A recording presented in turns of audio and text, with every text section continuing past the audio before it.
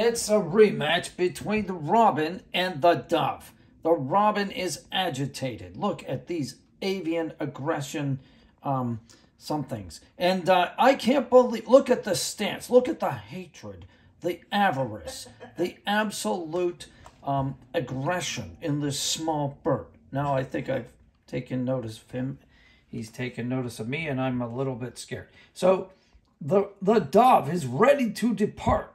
The dove is is is planning its escape because the robin is going to inflict wounds on the up up and the robin chases the dove off the ledge and the finch takes an opportunity. Now the finch leaves as well.